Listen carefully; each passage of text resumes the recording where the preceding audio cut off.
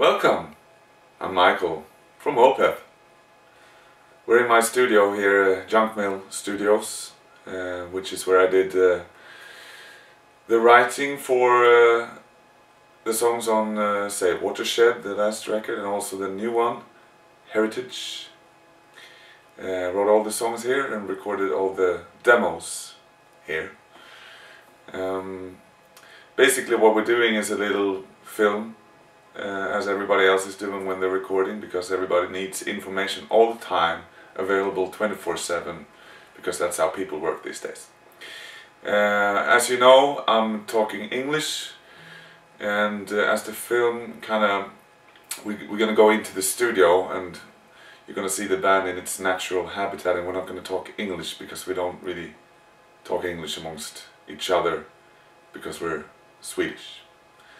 Why I'm doing it now is because I know I'm being filmed and I kind of realize I sound awkward when I'm talking uh, in my native tongue when I know that I'm being filmed pretty much like a bad actor like uh, Keanu Reeves in Dracula uh, or something like that sorry. Basically everything was recorded onto this computer uh, the, the demos and we're gonna use those demos as a template for the actual recording of the album. We're just gonna uh, exchange everything, all the synthetic sounds that, say for instance, I recorded on uh, on the keyboard, like the Mellotron plugins and stuff like that, are gonna be replaced with a real Mellotron, a real Fender Rhodes, a real Hammond organ, and so forth. You know and obviously real drums because I'm using a, like a plug-in drum thing um, to to get drums in the demo. So um, yeah, you're gonna see all that later. Um, but basically, yeah, this is it. You know, it doesn't take so much. You know, it's you know the the good thing for me is that I'm, I'm a musical genius, so uh, I can just basically come up with with a masterpiece on a on a um, clapping my hands. You know.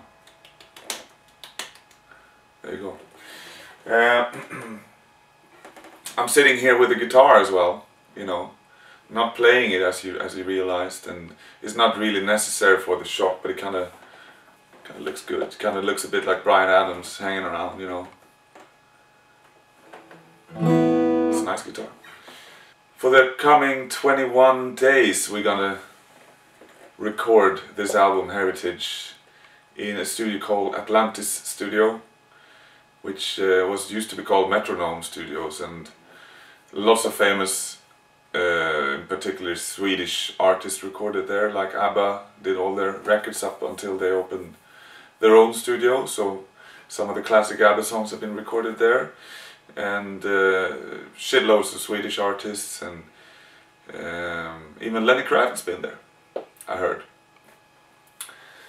Um, but it's a nice studio and we're going to be uh, working with the engineer called uh, Janne Hansson who's been he's the owner of the studio and has been working there for since the early 70s basically and gonna meet him.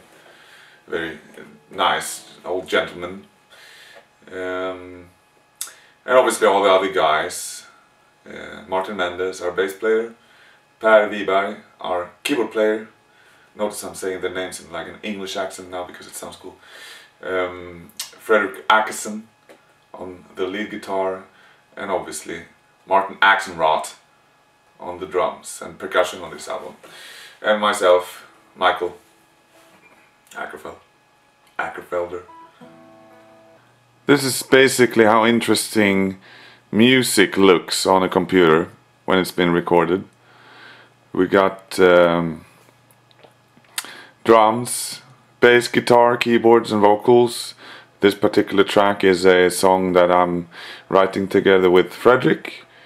Uh, it doesn't have a name right now, it's just called Frederick, which might be the actual title because it's a fucking cool, cool title. Is it interesting? Well, when I hit this button here on the computer, that's my finger, boom, song's gonna start.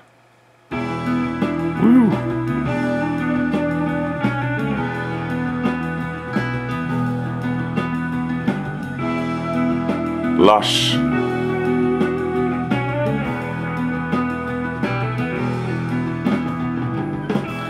and uh, yeah.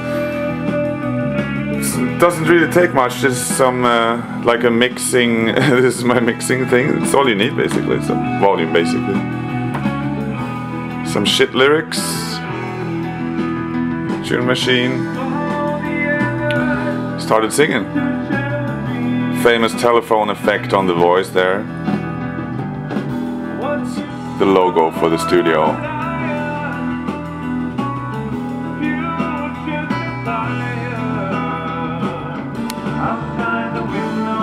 lately I've been, uh, or we collectively as a band, been uh,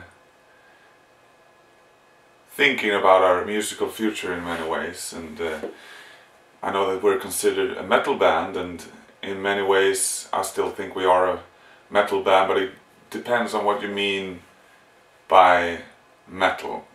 Um,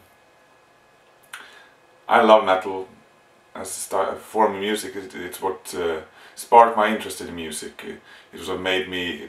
It, it's what made me want to pick up the guitar and play, play myself, be in a band and all that stuff. But you know, been a band for 20 years now, and um, I was writing songs uh, for what's gonna be the 10th album, what's gonna be Heritage, in the so to speak classic or standard or whatever you want to use, or whatever word you want to use, way that in, in the traditional Opeth style, whatever that, whatever that is. But it was uh, metal songs, and um, I listened to it, and I just didn't feel it in my heart that this is what I want to do. Uh, when I heard first time demos, was uh, Mike's place. He had a party that day, so we took a listen. Uh, we were pretty much drunk at that time and um, I just from nowhere I say to him like if that's gonna be the next Opeth album I will be disappointed. I just didn't feel it in my heart so I just basically there was like two 10 minute songs I just marked all of them up hit delete and then I saved it and they're gone forever. And it was a relief and then I kind of started over. And uh,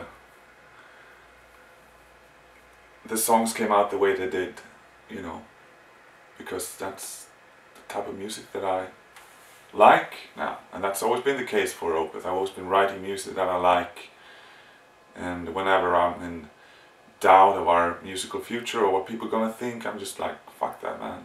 You know, just do what you like because it kind of worked for 20 years. I always wrote songs and music that I, I personally want to listen to, and this is no exception to that rule. There is a different direction on this record, which in when I heard about the direction I was a bit like, oh, are we really gonna do this? But then when I heard the songs back at Mike's house, I was there doing some guitar solos. I really liked what uh, he had come up with. We needed to to do something different, um, play something different and explore the other kinds of music that we want to play and that we listen to. I'm not really worried, you know, if I can love the songs. And I hope you're gonna like them too, you know, even though it's, I guess, a little bit different from what you've uh, heard from, from Opeth. But yeah, I hope you're gonna like it, you know. It's uh, We're gonna record 12 songs, I think, or 12 or 13 songs and I wrote all of them pretty much on my own, apart from one song that I wrote together with with Fredrik. But we're all gonna come together as a band, and it's the same as always. You know, I've basically always been writing all the songs and have all the other guys come in and just make the songs their song as well. You know, translate their own feelings into to this song and into the playing of this particular song. You know. Um, Yes, we're gonna do it a bit more old-fashioned. You know, we're gonna use uh, a Pro Tools rig and record everything on because it's simply so much easier. You know, we record it on on uh, two-inch tapes like these. The way it's on. You know, and you can fit 16 minutes of music onto one of these. And ha having long songs like us, like in the past, we had like songs of 10, 12, 30 minutes long, and then you're wasting like five minutes on each tape, and they cost cost a lot of money actually, and it's just big hassle to record. Not sure if they sound better. Um, so we're recording onto a Pro Tools rig because it's well, it's it's superior to me. It's just easier. But we're doing it in, in an old traditional way. We're not gonna do too much editing. The idea is to record as much as possible live, at least the drums and bass, and see see how that goes, and just uh, use a old, real sound for the instruments. You know, I'm really tired of that whole metal productions where the drums don't really sound like drums anymore. You know, and we've been kind of caught caught up in that little thing ourselves. You know, we we trying to make the drums sound like a drum machine basically, which is fucked up. Uh, so uh, what what we're gonna do with this album is make everything sound earthy and real, and make the instruments sound like instrument sounds. You know, like musicians, actual people playing them as opposed to a computer playing it. You know, we're just recording onto a computer, and that's it. Uh, and also the guitar sounds, I think you're gonna notice it's a bit different than what we've uh, uh, what we've had in the past, and that's basically we're just gonna cut a lot of distortion. And uh, what that gonna mean to myself and Fredrik as guitar players is that we're gonna have to struggle more, and we have to play better in order to make it sound good. And that was one of the first uh, ideas I had about this album, about Heritage, was that we're gonna suffer playing these songs. You know, we're gonna we're gonna have to leave a, a bit of our own personality into these songs and if we don't feel good we're not really to play good you know we have to i don't know project your your your feelings and emotions for real onto the music you know when you're in a a metal band so to speak and you're you're you're uh, you got like shitloads of distortion and mesa boogie a rectifier triple rectifier whatever they're called and you got a active EMGs and all that stuff you know you can basically feel like shit and it's still gonna sound alright you know but uh, I want it to be more emotional this time around, so it's to be really interesting to see what it sounds like. And it's the same for everyone, you know. Um, we'll, see how how it goes, but it, um, I think for, some reason I think we're going to come together as a band more than we've ever had before. Uh, because everybody's gonna have to really really focus on everything. I'm gonna try and be some type of producer for this album and kind of over oversee everything. Um, and then we're gonna go to uh, to to England to Steven Wilson's studio or wherever he's, he's gonna be he wanna be and just uh, let him look into doing a mix for this album and I'm gonna be there with him. Probably gonna film him as well, even though he's an ugly cunt. Um, so yeah, you're gonna see uh, see the whole process of making a record or at least how we make records. You know, maybe it's a bit different than how you make your records. Um, so, well, today is the 31st of January, and it's the first day of our recording of the 10th Opeth album, Heritage. I hope you're gonna enjoy it. Thank you. It's my car. It's a Volvo. Golly, it's a Volvo in Sweden. That's a twat right there. Hello?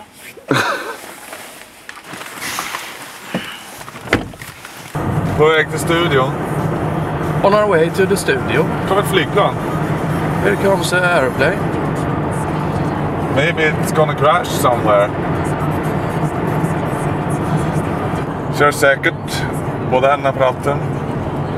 That means uh, driving car according to speed limits. Safe driving, both hands on the wheel. Ena handen klockan två, andra handen klockan tio. One of the hands 2 o'clock, the other hand 10 o'clock. so this is the secrets passage. You don't have both hands on the wheel, no. See? Sorry. Heavy traffic. Like New York. like New York. Get some real pants, you whore. Old slab. Slab. Slag. Vad heter floden här under? Va? Kvaj. Kwai. Bron över floden Kwai. Viking Street. Då är vi framme, studion ligger där framme. Träramen träram, zoomar ut.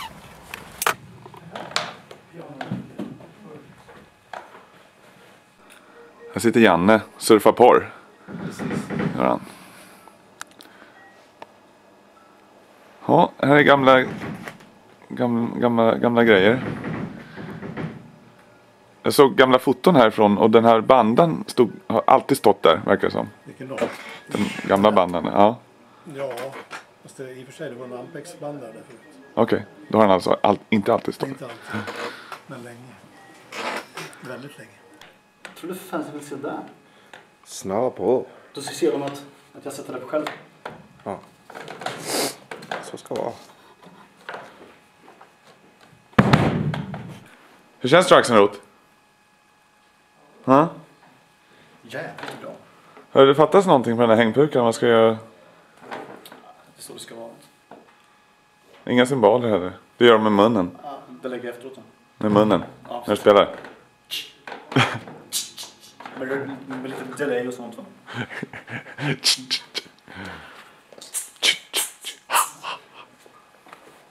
Mendes Åkesson. Ja, Han står här. Drar, drar, i, ka- drar i kablarna. Drar i snablarna. tåten. Sandra, vad ska du göra här? Ska fota lite. Ja. Se till att inte få med några du- dubbelhakar på mig. Ska se sm- Smal och snygg ut ska jag göra. Ett gammalt är det nivbord. Är det bra grejer det? Ja, det är faktiskt det. Och så en dator. Sign of the times. Här har vi lite gamla grejer. Jag hoppas vi ska kunna använda här snart. De här gamla bandekorna. Men särskilt den här äh, gitarren där det saknas en sträng. Den har vi tänkt använda mycket.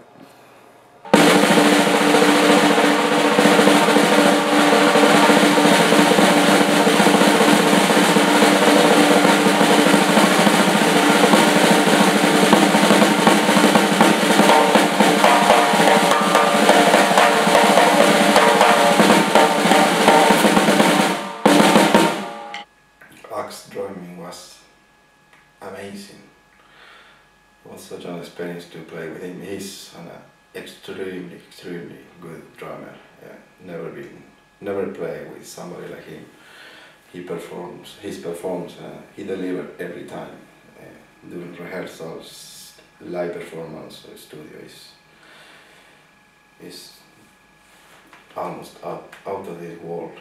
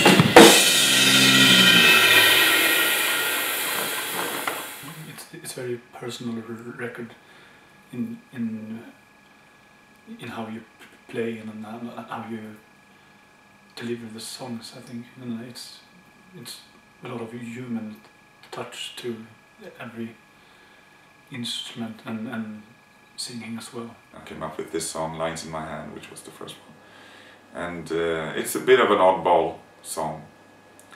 But it's quite, uh, again, it's quite fun. It's uh, very intense in some way, like the ending part of that song is very intense, I think, and featuring the best drumming ever in, in Opeth, I think. You know, Axe is just, I mean, going crazy.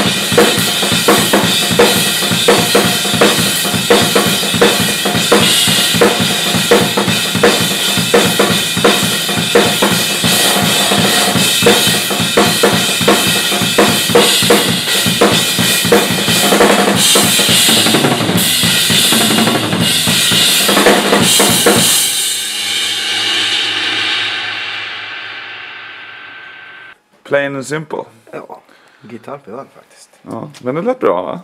Grymt. Var du nöjd? Väldigt nöjd. Hur nöjd är du ungefär? Jättenöjd.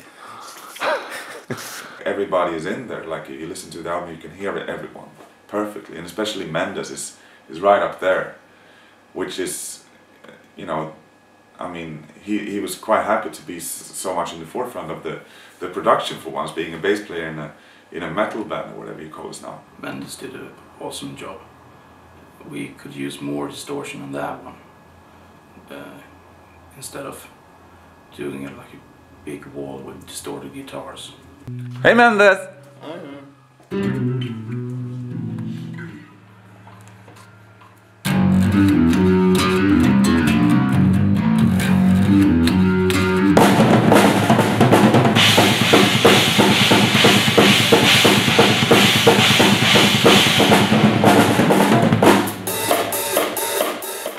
Bra ljud. Jan har rattat till ett suveränt ljud måste jag ändå säga va?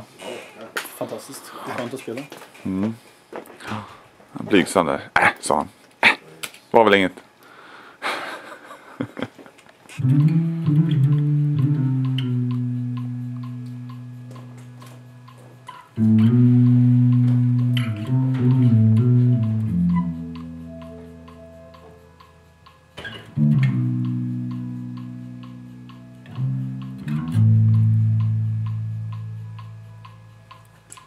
Ny bryggare här i studion. Hur gick det igår då Kudde? Fantastiskt bra. Ax gjorde en låt. Och Mendes. Spela in en låt då. De hittade på den också. Här har du kaffe. Torka rent efter dig. Ja. Precis som när du har varit på toa. To- Toalettsätet är fullt av piss va? Torkar du rent? ja. Korrekt. Oj. Kontoret på Atlantis ser ut sådär. Där inne finns en graveringsmaskin. men Jag vågar inte gå in. Jag orkar inte gå in. Här är ett litet hängrum kan man väl säga. Ett troll! Ja. Ett troll. Um. Vi har väl varit här en vecka snart. Imorgon har varit här en vecka. Alla trummor är snart klara och all bas snart klart. Så att vi making good fucking progress dude. Här ligger min gamla gitarr. Här, eh, ja, så här ser det ut. Vi kräver blommor då. Annars tänker vi inte spela in. Det ska stå violetta tulpaner. Annars så ska någon få heads on gonna fucking roll. Violetta tulpaner eller you're fired. Kolamaskin. Dricker inte sån här skit. Kjell Höglund. Korridor. Stol.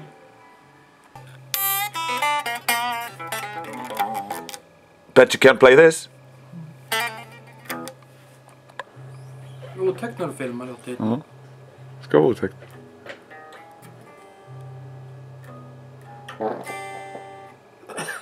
Kacka.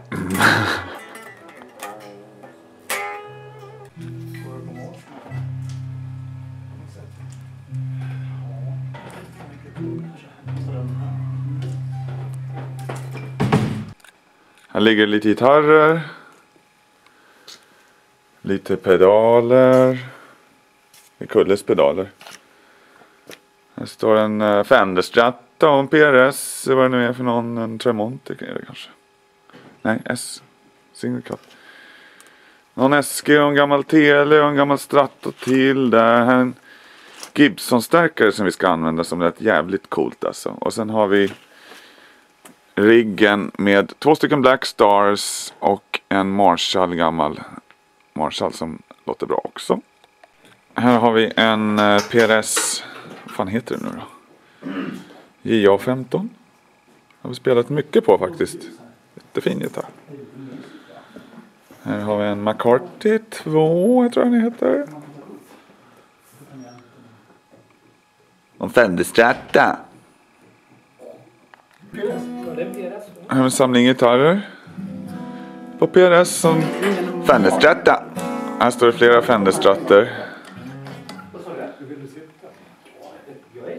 Gamla skit, gammal skit. Här har vi en SG, en Stratta till och en Les Paul. Med hål i. Så det var slarvigt. De har glömt sätta dit en mikrofon.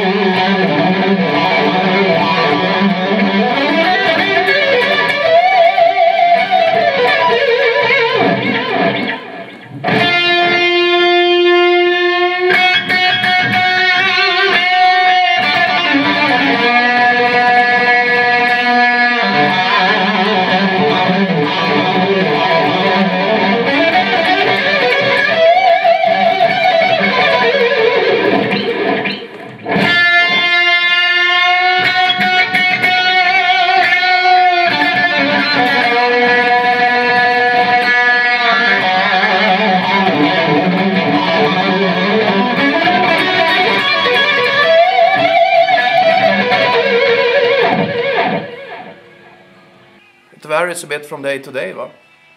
Men vi har... Um, we have a tornado phaser and uh, Black Star distortion box. Why are you speaking English? And we also have the micro amp, MXR. It's not connected. But it will be eventually. It's a classic. Can't live without it. Va?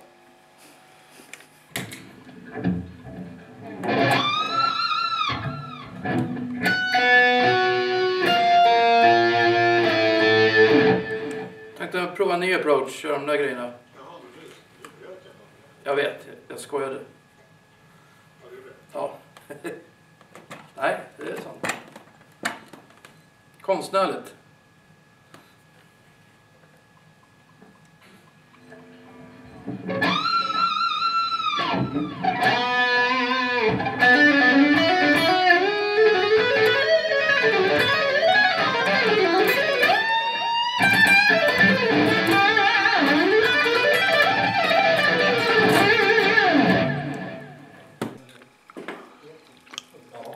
Please don't touch. Please don't take pictures. Please don't touch.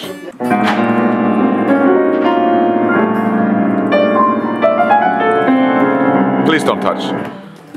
Please don't touch. Dryg jävel.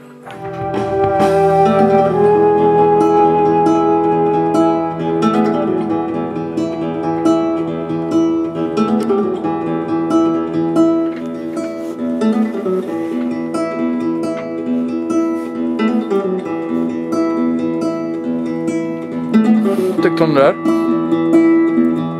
Trött. Trött. Ledsen. Hej Mendes. Hej hej. Hej Mikael.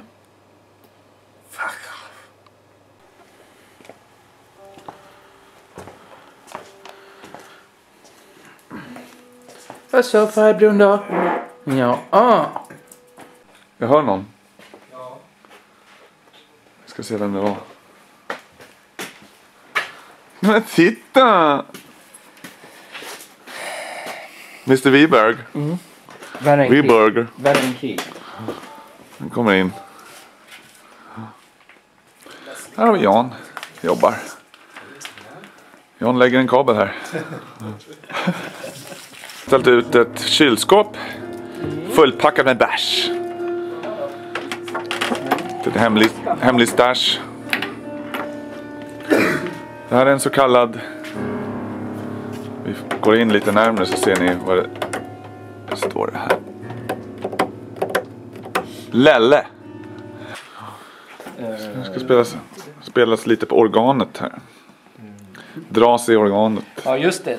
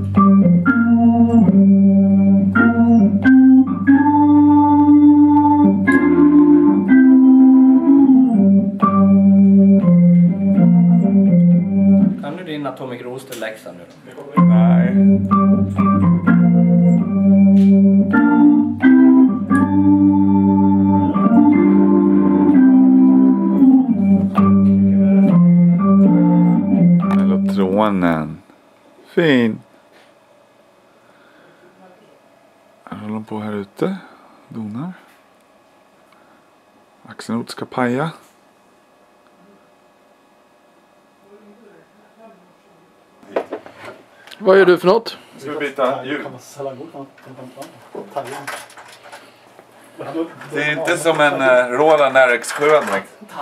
Nej, det är lite mer uh, av den gamla skolan kan man säga då. Old school. Då ska det alltså bytas en bandram. Det är bara att plugga in via USB. Körde plugg mycket bättre, mycket snabbare. Är det midi-synk på det här? Midi-sync, om. Ska vi se. Ja. Försiktig, försiktig. Inga flåtfläckar på banden nu.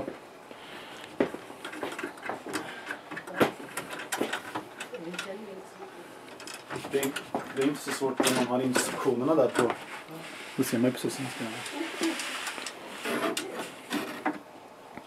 Men då tycker jag att du ska göra Här är ljudet. Ser ut som en... När man tömmer en... Ljudet. En sån här bikupa.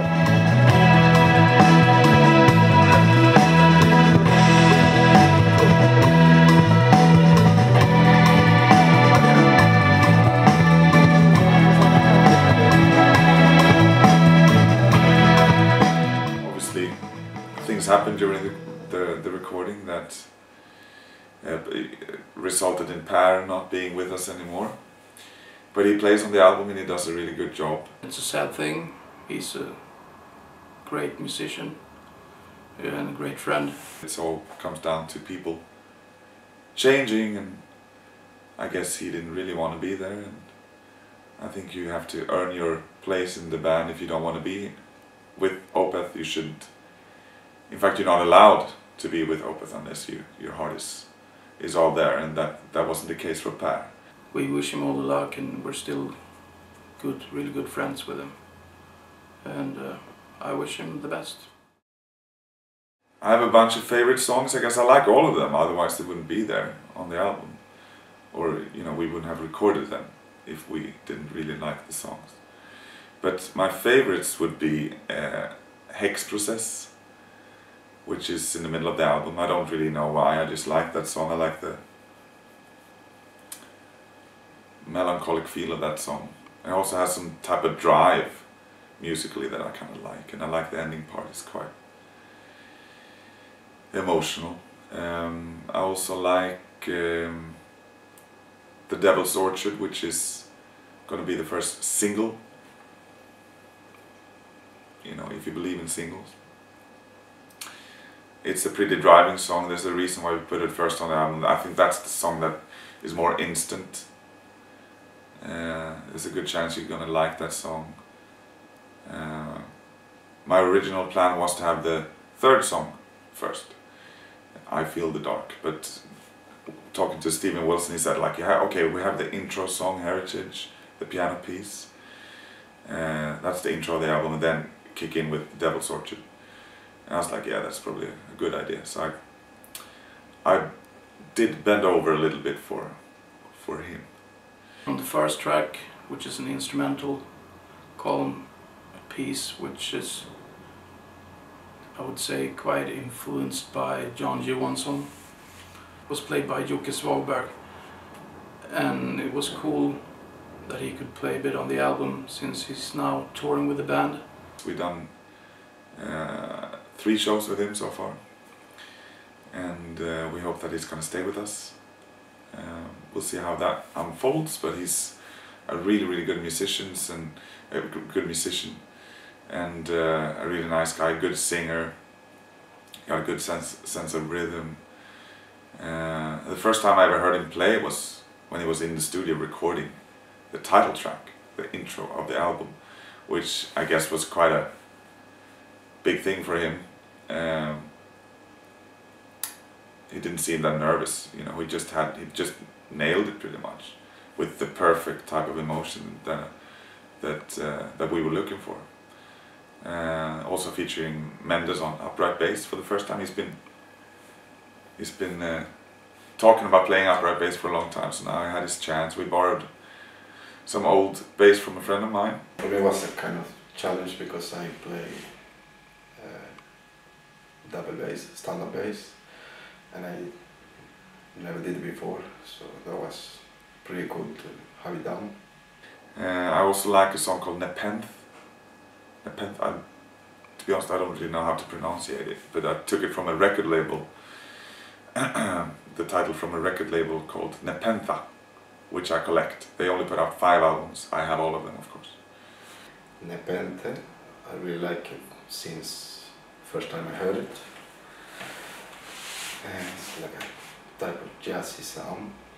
There's uh, a song that some people probably think it's a joke, which, I mean, it's it is done a little bit, little bit tongue in cheek, and it's a bit gimmicky sounding and everything, but it's pretty far from a joke because it's actually a tribute to Ronnie James Dio, who passed away and who's meant so incredibly much for me throughout the years, and uh, I still can't believe he's gone. And I mean, it's kind of feeble the things that you do to kind of pay pay, pay tribute to someone, but I I loved him and we all did, and his music still you know, brings shivers down my spine. So this song Slither is made as a tribute to him. Maybe some of you think we should have left it off the album, but I think it's fun, you know, it kind of creates some type of dynamics to the album, you know. Famine is another really cool song. It's very strange and experimental. Björn J:son Lindh who played a flute solo over this heavy doom part, which uh, really is far out. Just playing, you know, we recorded him, him walking up to the microphone, which is what you hear in the beginning of the song. He was just kind of tuning up or whatever they do. I don't know how it works. I can't play the, the flute or whatever. Uh, but we recorded him recorded him walking up to the microphone to record his part. So that's the, the actual start of the of the song. He has an extreme unique style and I mean the album is called Heritage and kind of links together in a way because he used to record at the Atlantis Studios in the 70s.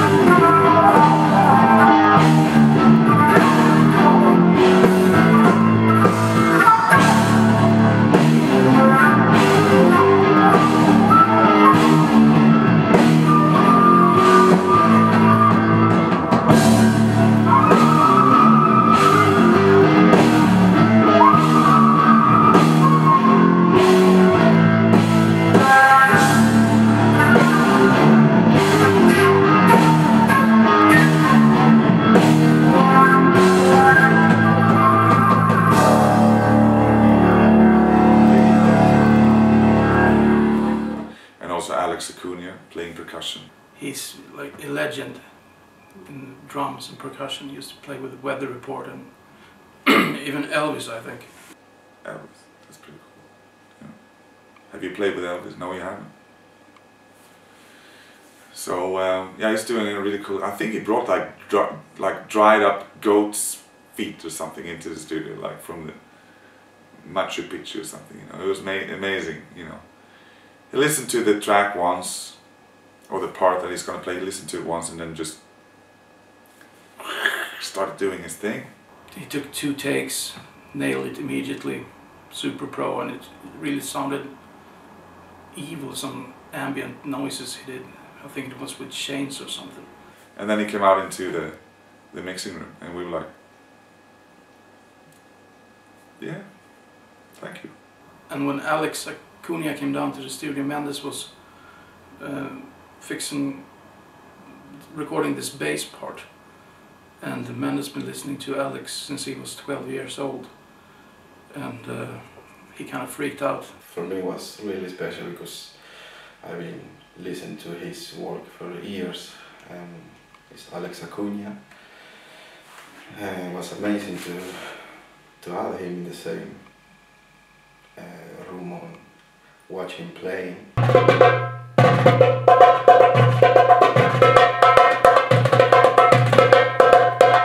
So, do you do Melando Gasama? Yeah, I worked with him many years ago. That's right. Yeah. Esta es la batería, este es el bajo y este es el que te habla de adentro. Así que la música es esta Ya, y, ok. aquí, y aquí está el ritmo. Okay.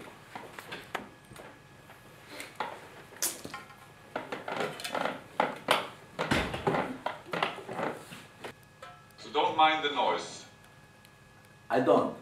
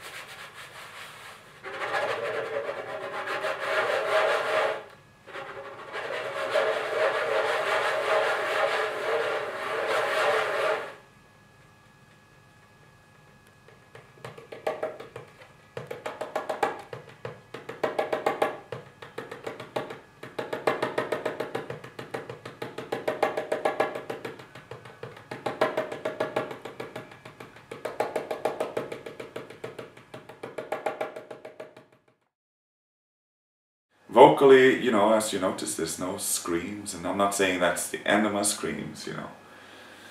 Uh, I still like to do it occasionally, you know, like playing live and stuff like that. And also, I recorded for Devin Townsend, was the last type of screaming vocals I did. So I enjoy it, you know, it's just that this time around there was no room for it. You know, the songs came out this way, I didn't want to do some death screams just for the sake of having it in there because some fans think that's our sound. You know, I mean, it's it is part of our sound in the past, but you know, I don't want to linger on the past too much. I, I like to move on, and I'm also really interested in developing that cleaner voice uh, of mine. I enjoy singing. I sing in the shower all the time, stuff like that. The songs on the album are really cool, a bit different from earlier stuff. It has um, less death element uh, parts in it, but um, still you can hear it's Opeth. I know it's going to cause uh, probably divide people within our fan base or whatever. But I mean, I don't want to stay the same, man. It's it's uh, it's uh, you do a thing. You you come up with a sound, and then you kind of you might stick with that sound for a, for a string of records, for a record, uh, a record or two or something like that, and then you it feels like you saturate things, and you you literally have to move on. I think that was why Heritage sounds the way it did because I could I, I personally felt that I couldn't write songs better than in the Watershed style than what's on Watershed. the cover of the album, I think, is really suitable for the music on the album. It, um, I know it was a dream Mikael had when he came up with the idea. It caused quite a stir in the the metal underground or whatever you call it, and uh, which I like. A lot of people thought it was a joke, and I I agree it's funny. You know, I'm I'm looking at it, I'm kind of laughing, and I think it's fun. Uh, but uh, nice, I love it. You know, more colors than we ever had, and it got more of a psychedelic vibe to it. It's maybe a bit shocking if you if you could compare it to other album covers that Opeth has. It feels like a kind of the history of the band and the future in some way. the guidelines or whatever I told Travis Smith who who made the cover was that I want to mix between uh, Bruegel's cover, the one like he did one called The Triumph of Death, El Triunfo, La Muerte or something, uh, which is on the cover of uh, the Black Sabbath Greatest Hits album, if you've seen that. So I wanted to cross between that one and Yellow Submarine by the Beatles. I like in a way that it caused such a big reaction. A lot of people hate it, a lot of people love it, and as I said, somebody some think it's a joke. People are writing essays about it. You know, it's crazy. But I like that type of reaction. Rather have a reaction than just a, a, a shrug, so to speak. And the same goes for the music. Every album is different with Opeth. I've been, been in the band now a bit over four years, but as a pre fan to the band as I was before I joined, uh, I think the band has managed to achieve that. And that's how we are. I like that idea of being a bit unpredictable, if you know what I mean. Um, some fans of any bands, they want the same, like they they want their favorite albums to be recorded over and over again.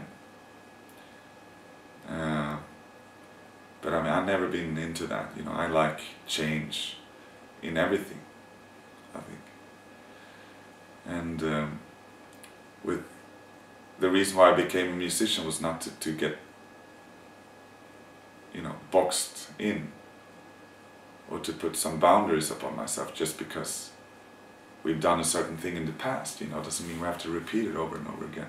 And some people even think that we have you know done the same album over and over again um, which I don't like hearing you know. But I, I do believe that we had we have a, a sound or something, you know. And for a couple of records, we, we stuck to that sound, like Still Life and Blackwater Park. I see those two as connected. Deliverance is pretty much on its own. Damnation is on its own. Ghost Reveries and Watershed, I think, are connected. Heritage certainly on its own. Um, Orchid and Morningrise are kind of connected. My Arms, Your Hearse on its own, I think. So I don't think we've we've we've repeated ourselves too many times, at least, you know. But uh, by doing Heritage, I think we bought ourselves a little bit of a musical future. And I can see that we can might come up with something interesting for the next record. And I already feel a bit excited about doing another al album, which never happens, to be honest. I always feel like drained after a recording. And I do feel tired and everything like that, but I still feel excited about, about the our musical future. Not saying that, you know, I personally don't want to repeat heritage. I'd like to, to think that I evolve a little bit and do something new for, for the 11th record or whatever, but I think it's a good start for something, heritage. Right? Like a fresh start. The mixing, Steven Wilson did a great job. I spent the time with him. Um, doing some, recording some vocals down in his studio and mixing together with him. And we also finished up a few, like some writing for our own project while I was down there, drinking some wine, having a good time. And then I went down to master the album with Peter Mew at Abbey Road Studios. And he's done, like he's worked there since 65 and done many of like the, the stuff I collect, you know, like the progressive psychedelic stuff, some of those records I collect, he's engineered or produced his first uh, engineering job or producing job was uh, SF Sorrow by The Pretty Things, which is an amazing album I've been listening to quite a lot. And he also did Carmen, Fandangos in Space, one of my all-time favorite albums. And uh, Ummagumma by Pink Floyd. Uh, he recorded a band called Forest, which is quite obscure folk. And Toe Fat, which was the Ken Hensley and Lee Kerslake from Uriah Heep. They had a band called The Gods before and then formed Toe Fat and then Uriah Heep. So he worked with that and I was like, wow, it's, it's, that's pretty cool. But he was so unimpressed with his previous, he's like, don't tell me uh, Ummagumma is your favorite album. I mean, he was so impressed with everything, unimpressed, unimpressed with, with everything that he'd done and he was sitting there doing his thing. I only spent a few hours there. Well, that, that was pretty cool to be at Abbey Road. I'd never been there. So I felt like a kid in a candy store, kind of looking for like footprints that could have belonged to Paul McCartney or something. Or Pink Floyd for that matter. Uh, the future now, when we release the album, we're gonna tour our asses off as usual. Uh, starting off in America by the time this is released, then Europe, Japan, Australia, America again, Europe, festivals, etc., etc. Hopefully, we get back, uh, get to go back to India again. That was really cool. These songs are like nice to hear on the record and nice to play live. I think it's gonna work really well live. So much live feeling on the record, so it's g- g- gonna be a lot of fun to play them live. Playing live is also always fun, you know, but it, we're gonna be away from September till Christmas pretty much, which is a long time to be away from your family. Um, and friends and whatever, you know, cats, record collection. I mean, we've been around 21 years now, 10, 10 records down the line. I think we feel a bit, we feel fresh, you know. Might not, might not look it, but we feel like we still have something to offer to people who are interested in music that I like to think is without bound- boundaries. Uh, still, that's our, that's how we like it. Um, I hope you enjoyed watching this DVD and listening to the album and checking out the pictures, looking at the sleeve. And hope that you come and see us on tour for this album or for like whenever you choose basically. We're going to be touring quite a lot so I hope to see you out there. Thank you.